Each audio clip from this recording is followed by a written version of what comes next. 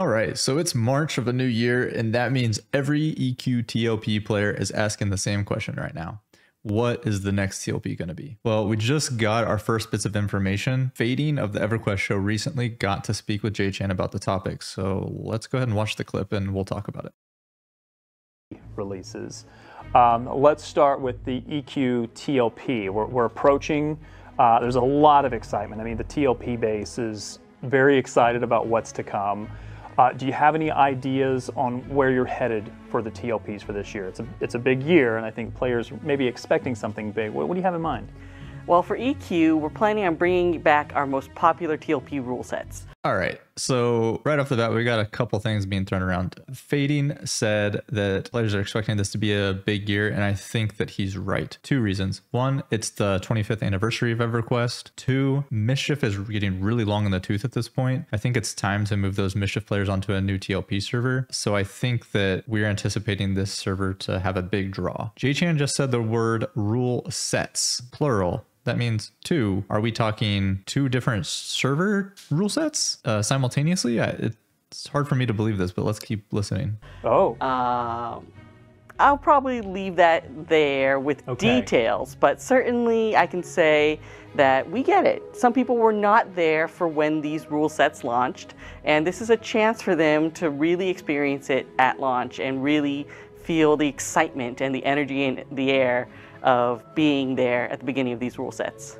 All right, she just said the word rule sets like three times. So if she's truly meaning two servers, it's really hard for me to imagine this being the case because when she says the most popular rule sets, we already know by definition at least one of these servers has to be a Mischief 2.0, maybe has some modifications. If you release anything alongside a Mischief server, that server is dead on arrival. There's no possible way that it could not be. I have to believe that they know that. So I don't know. Let's look at what what could the second server possibly be. Let's let's look at some data. So we've got a chart here um, that was actually data leaked from the Brit Canuck. I'll le- leave the link to this video in the description below as well. So we've got data from summer of 22. We see Mischief is very strong population wise, despite having a TLP just launch on top of it, which is Yelinak. Yelinak obviously doing well at this time. Vaniki started fairly strong, but it died off very quickly. And Aradune was in DODH at this point, is just kind of trucking along. So what do we know here? We know that Yelinak is now on like the low population level. Uh, Mischief is still high today. Aradune, Vaniki, all dead on the low end of the population if you go look at their website. And then we also have the new server, which is Oakwynd. Um, that's sitting at medium.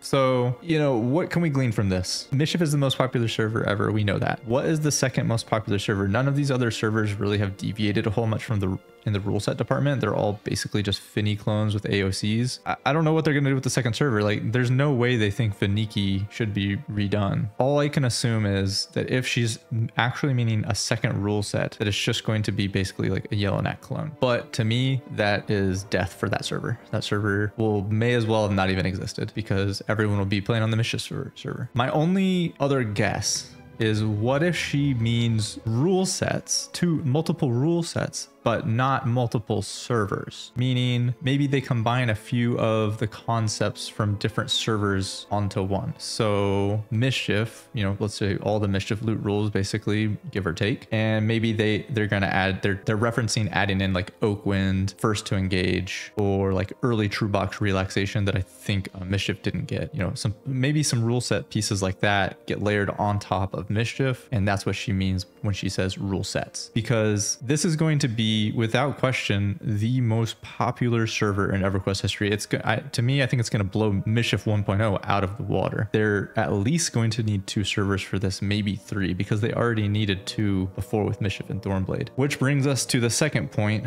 of, or the second question: What are they going to do about the overflow situation? Because that second overflow, second or third over- overflow server is basically doomed to fail, or at least be significantly less popular than the like the starting server. Mish, you know, Mischief Thornblade is an example, Ragefire and uh, Lockjaw is an example. That second server, Lockjaw in this case, and Thornblade are, are always just dead in comparison to the main server. All right, so let's talk about some timing. Got some data here from Allakhazam. It shows all of the release dates, and then I went and dug up all of the announcement dates from their website. So starting in 2017 with Agnarr, they started releasing TLPs in May. They had Coirnav and Mangler that released in March, but since then, everything has released at the end of May, and in particular, they've always released before Memorial Day. So they used to always release their servers on Wednesdays. Now they do releases on Thursdays. We go look at a calendar and we look at the announcement dates. We are expecting that it will most likely be on April 22nd when they announce this thing. They almost always do it on a Monday or a Tuesday. It could be the week before, but I would say most likely it's going to be this April 22nd. It's always in the like last or second to last week of April. So I would expect that on the 22nd of April. Now, if we look at the release dates, I think this is like a 99% probability that they're going to launch this server on May 23rd. It's always this week before Memorial Day, and it used to be on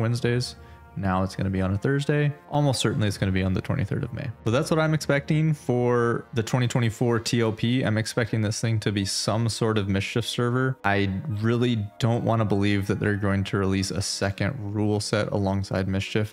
I think surely they know that server is going to be dead if they release it. I'm going to go ahead and say they're going to release two mischief servers, at least two mischief servers on May 23rd, 2024. I think it's going to be the most popular server that they've ever released. I'll leave a link in the description below to the fading video as well as the Brit Canuck video that I referenced in my video. What do you guys think the next TLP is going to be? Do you think my dates are accurate? And let me know if you're going to be playing on the new server. Hope to see you there.